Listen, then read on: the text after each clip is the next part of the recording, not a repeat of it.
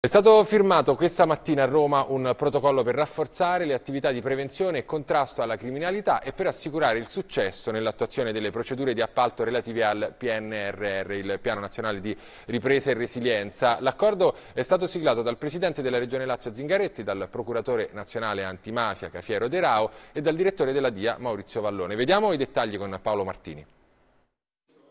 I fondi del PNRR devono servire all'Italia, non alla mafia, lo dice il presidente Nicola Zingaretti, annunciando che i 10 miliardi e 600 milioni di euro che la Regione Lazio gestirà saranno controllati da Procura e Direzione Investigativa Antimafia. Lo prevede un protocollo d'intesa siglato alla presenza della ministra Lamorgese, dal capo della Dia Vallone, dallo stesso presidente della Regione e dal procuratore Cafiero De Rao.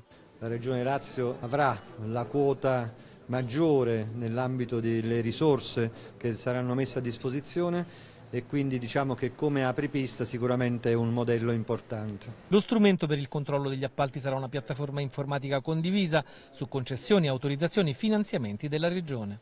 Conoscere e mettere a sistema le notizie, le informazioni è fondamentale per poter contrastare le mafie. L'auspicio della ministra Lamorgese è che anche altre regioni condividano il protocollo e i maggiori controlli non pregiudicheranno l'efficace utilizzo dei fondi europei. Conoscere i nastri di partenza di una procedura, la presenza o il rischio di eh, attori che partecipano alle gare in odore di mafia eh, evita che l'intervento avvenga alla fine del percorso, magari bloccando tutto. Legalità dunque non significa rallentamento dei tempi, assicura il Presidente della Giunta, che torna a lanciare l'allarme sul rischio infiltrazioni.